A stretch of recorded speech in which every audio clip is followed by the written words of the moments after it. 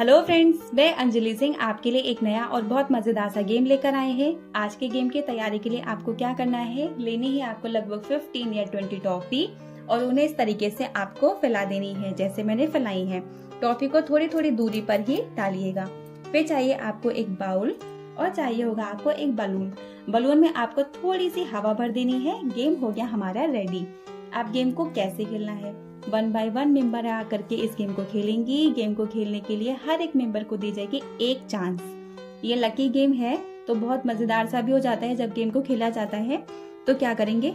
जब भी कोई मेंबर खेलने आएँगे तो उनको ये बलून ऊपर हवा में उछालना है। जब तक ये बलून ऊपर हवा में जाएगा और वापस नीचे की ओर आता है, उसी के बीच में हर एक मेंबर को एक एक टॉफी उठा करके इस तरीके से बाउल में डालनी है।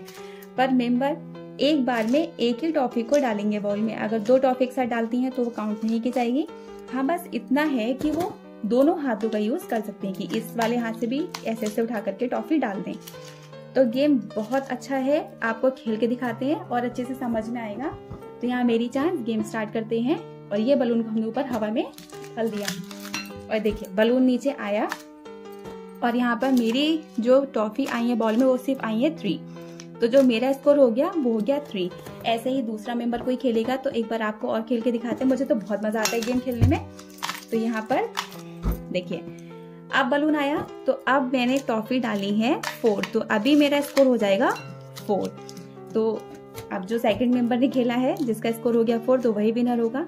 तो विनर भी इसी तरीके से आएगा, जिस मेंबर ने सबसे ज़्यादा ट्रॉफी डाली होंगी बॉल में, वही हो जाएँगे हमारे इस गेम की विनर तो गेम बहुत अच्छा है, बहुत आसान भी है, इससे आसान कोई गेम हो नहीं सकता। तो एक बार अपनी पार्टी में रखिए, सबको बहुत अच्छा लगेगा। पर आपको मेरा गेम कैसा लगे, मेरे कमेंट बॉक्स में ज़रूर बताइए। मेरी वीडियो को लाइक करें चैनल को ज़रूर सब्सक्राइब करिए। Thank you